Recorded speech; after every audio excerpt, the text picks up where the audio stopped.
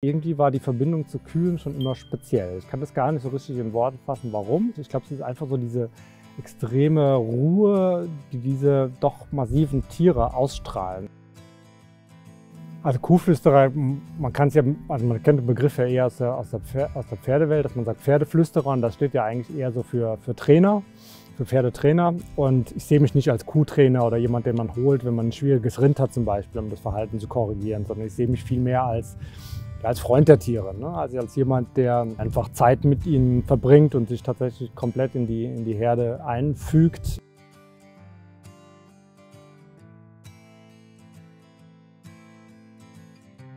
Natürlich war das ein Leben geprägt von ja, viel auch Ausgehen, Urlaub und Zeitleben irgendwo so ein bisschen. Ne? Also viel mit Freunden unterwegs, so eine städtische Auszeit. Ne? Und wirklich weg vom Land und weg von den Tieren und weg von der Natur eigentlich tatsächlich. Dann bin ich äh, nach Südfrankreich ausgewandert und habe ein Jahr an der Côte d'Azur gewohnt, äh, was für viele ja sicherlich ein, ja, ein sehr erstrebenswert ist. War es für mich auch und war auch eine tolle Zeit, aber es hat so ein bisschen einen Reset mit sich gebracht. Dieses Partyleben oder Ausgehen oder äh, High Society oder was auch immer, das ist jetzt nicht mehr das, was mich antreibt, sondern ähm, da war einfach so ein bisschen die Suche nach anderen, anderen Dingen und die habe ich auch tatsächlich gefüllt mit anderen Dingen. Viel mit Meditation dann und Sport. Der Wechsel von der Stadt, vom, vom, vom turbulenten Leben aufs Land war natürlich, war natürlich ein, massiv, aber auch die Zeit vorher war schon ruhiger. Ne? Also das war jetzt nicht so, also auch dieses Partyleben und so weiter, das war schon nicht mehr das, das war schon nicht mehr der Mittelpunkt des Lebens. Von dem her war das Leben schon ruhiger, auch an der Côte d'Azur war es deutlich ruhiger insgesamt. Ähm, also das war schon was, glaube ich, was ich generell schon, schon gesucht habe, einfach auch ein bisschen so diese, diese Ruhe in meinem Leben nach einfach turbulenten Zeiten. Wenn ich an meine Kinder zurückdenke, dann ähm, ja, denke ich vor allem irgendwie an so einen kleinen, happy Jungen, der die, seine ganze Freizeit auf, auf Bauernhöfen verbringt und da eigentlich die meiste Zeit mit, mit Kühen unterwegs ist. Habe dann mit dem Bauern damals ausgemacht, dass ich ein Pflegekalb haben darf und dann das nächste Kalb, das dann geboren wurde, war dann sozusagen mein Kalb und das war Rexi. irgendwie waren wir immer zusammen unterwegs. Also das war eine ganz besondere Zeit, die mich sehr, sehr geprägt hat. Bis heute natürlich. Auch meine beste Freundin über viele, viele Jahre. Natürlich hatte ich auch Freunde und so weiter, aber ich glaube, das, was ich am meisten genossen habe oder wo ich am meisten in meiner Welt war, einfach war mit in der Welt der Tiere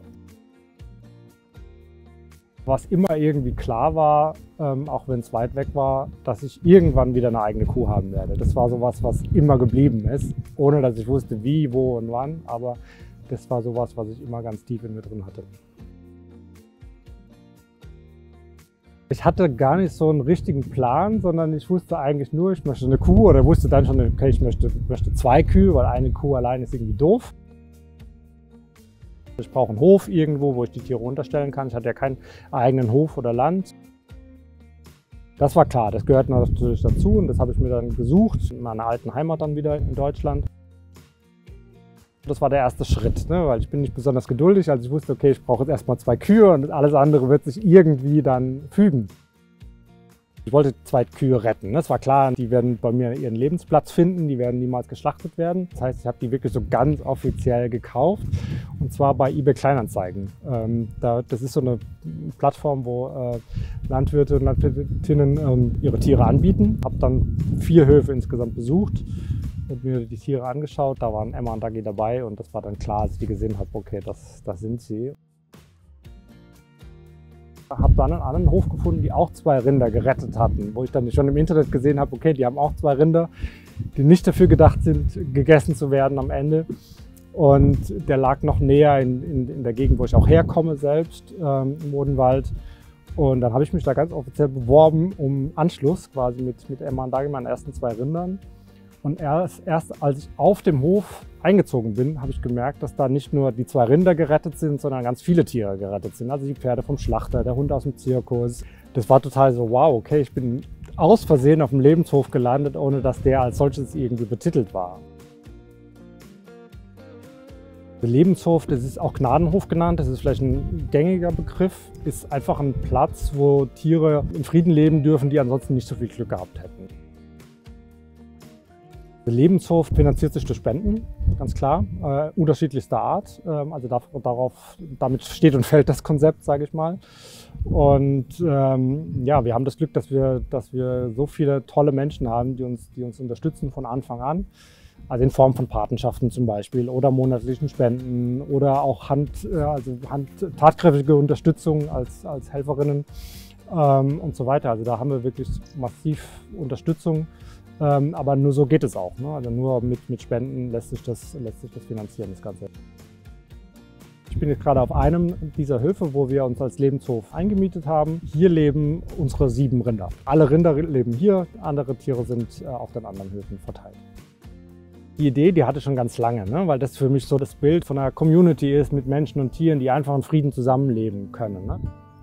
Mein Alltag auf dem Hof ist ähm, ja sehr unterschiedlich. Natürlich gibt es einfach Hofarbeiten, wie täglich misten, täglich füttern. Die ganze Arbeit, die mit dem Lebenshof zusammenhängt, ist für uns alle ehrenamtlich komplett.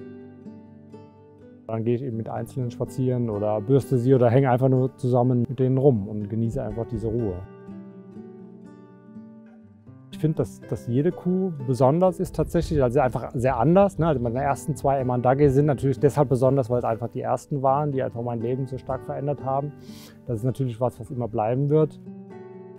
Die Luise, mein Nesthäkchen, also die jüngste, das ist auch eine, wo ich eine sehr, sehr enge Beziehung einfach habe, die quasi ja, am liebsten auf meinem Schoß sitzen würde den ganzen Tag so ungefähr, also die einfach sehr, sehr bezogen ist auf mich es gibt halt nicht mehr viele andere Hobbys, das ist klar. Ne? Also, aber es ist nicht so, dass ich, das, dass ich darunter leide und sage, das kommt zu kurz.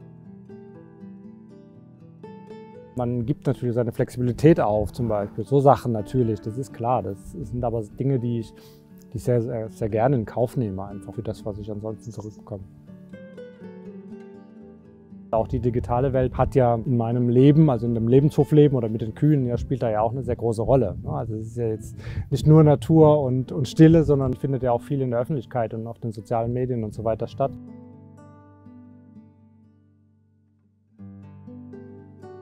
Durch das öffentliche Auftreten und das den Menschen näher bringen, ich glaube, das bewegt einfach viel, viel mehr. Es passiert tatsächlich relativ oft, ähm, gerade auf den sozialen Medien, dass Menschen mir schreiben, dass sie zum Beispiel durch unsere Videos vegan geworden sind oder vegetarisch geworden sind. Also das ist auch was, was mich natürlich sehr berührt und sehr äh, bestärkt auch, ne, dass genau das der richtige Weg ist. Ne? Und ich glaube, also gerade auf den sozialen Medien, ich habe das noch nie erlebt, wo einem so viel Dankbarkeit entgegengebracht wird. Und deshalb ist mein Bestreben ganz klar sehr bewusst eher zu inspirieren, anstatt zu missionieren. Gerade sehr positive Geschichten zu erzählen, also die, die, die Tiere selbst den Menschen näher zu bringen. Das merke auch ich im persönlichen Umfeld ganz arg. Ne? Das ist, das ist einfach die Zeit mit den Tieren und wenn die, die Menschen, die die Tiere persönlich kennenlernen und so weiter, dass das einen ganz anderen Einfluss hat. Man sagt immer, ja, was kann ich alleine schon ausrichten, aber das stelle ich immer wieder fest, dass ich sehr viel ausrichten kann, dass da total viel passiert und das ähm, ist natürlich total schön. Der größte Teil meines Lebens ist sehr zufrieden. Das ist was, was sich tatsächlich ja, auch verändert hat. Und also ich, ich empfinde mein Leben schon als was Besonderes, als was, als was besonders Schönes auch einfach.